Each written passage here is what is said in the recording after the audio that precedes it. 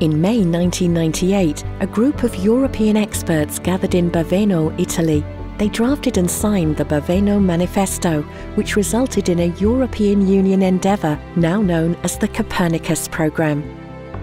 Twenty years later, Copernicus is recognised as the world's most ambitious and successful Earth observation initiative Back then, the European Commission, the European Space Agency, EUMETSAT, and representatives from the French, German, British, and Italian space agencies decided to engage in the development of a unified Earth observation program under the name of Global Monitoring for Environmental Security, or GMES GMES was initially designed as a tool to support policymakers in need of environmental data.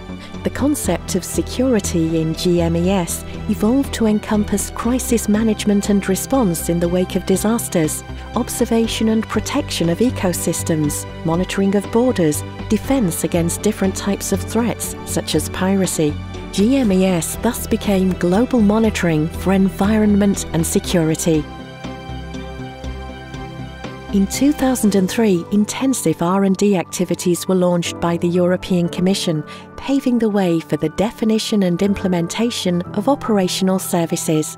In parallel, ESA started developing the dedicated GMES space component, a family of Copernicus Earth observation satellites called the Sentinels, and launched the GMES Service Elements projects to investigate new use cases. Three years later, in 2006, the European Commission established the GMES Bureau. The objective was to set up a management structure to oversee the development of the GMES space component and to progressively roll out the services, with land monitoring and emergency management as precursors. Legislation was adopted in 2008 under which the European Commission would provide the overall coordination of GMES a dedicated budget was then approved under the 2014-2020 Multi-Annual Financial Framework. The programme, after being renamed Copernicus in 2011, transitioned from a pre-operational phase to its initial operations. Copernicus finally reached full operational status as Sentinel satellites were launched starting in 2014 and services reached operational maturity. Today, the program relies on seven Sentinel satellites in orbit of four different models, on contributing missions and on in situ data, and includes six operational service lines, altogether serving hundreds of thousands of users worldwide. The availability of Copernicus data is also guaranteed until 2030, while the European Commission is requesting an increased budget for the 2021-2027 multi-annual financial framework.